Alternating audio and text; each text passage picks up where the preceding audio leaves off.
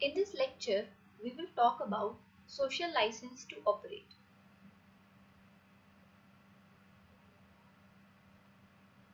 So, uh, what is a license to operate?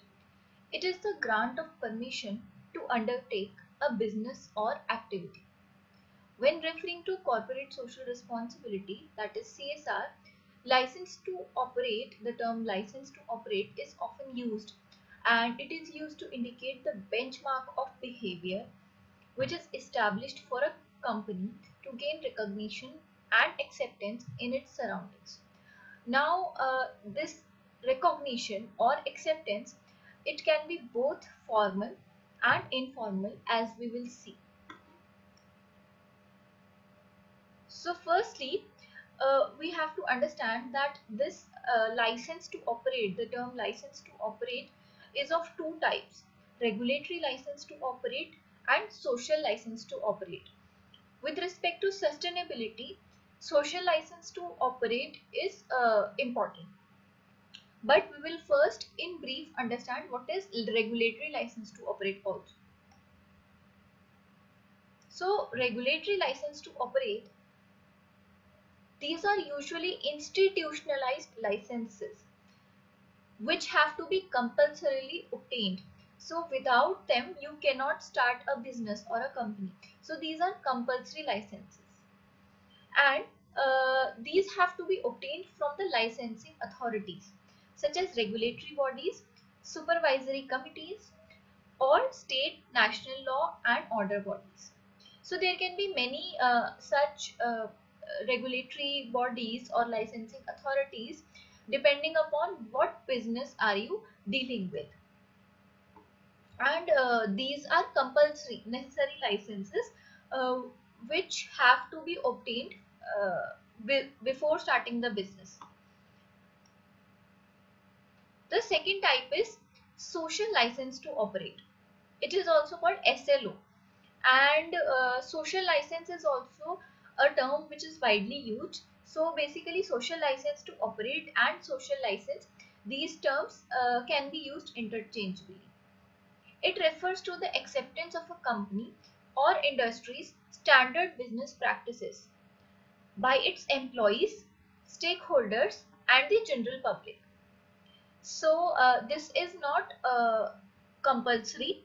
Of course, you can uh, do your business without uh, having obtained the social license to operate but it is seen that usually when people don't obtain it the businesses don't obtain it uh, the business model usually collapses.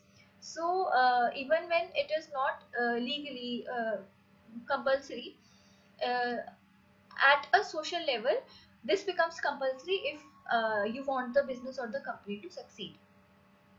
And hence the concept of social license is closely related to the concept of sustainability And uh, one thing about social license to operate uh, is that it is slowly built and maintained over time.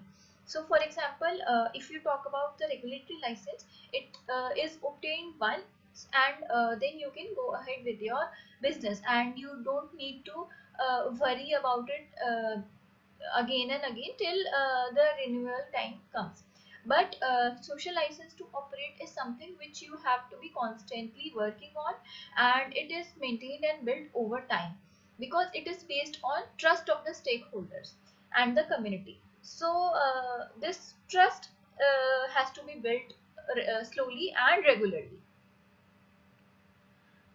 Now to gain uh, the trust the company needs to do some of these. So first is to take care of their employees to give them uh, uh, proper maternity benefits for example or give fair amount of wages. So this is something uh, which uh, the companies can do to gain the trust of the employees.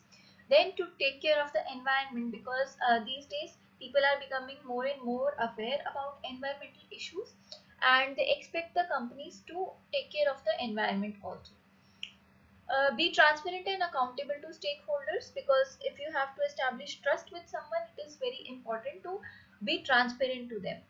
Uh, be good corporate citizens. Uh, be able to resolve issues quickly.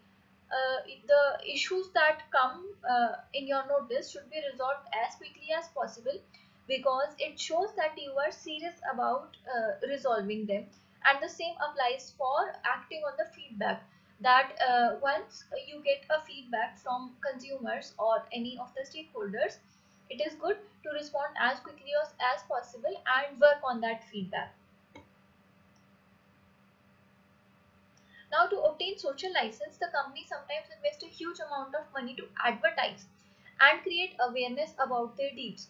Because sometimes it so happens that uh, even if the company is doing good in the uh, field of uh, social sector it doesn't get, get recognized as much which hampers uh, the social license. So uh, to obtain the social license uh, as it is important to work for it it is equally important to advertise it. So which sometimes goes overboard and the companies actually end up spending more in advertising than actual work. But uh, it, the companies uh, should really optimize it and uh, they need to come to a, uh, a point where they uh, invest uh, some amount of money for advertisement and some amount of money to do the actual work and there are some things, some activities that can put the social license to operate in jeopardy.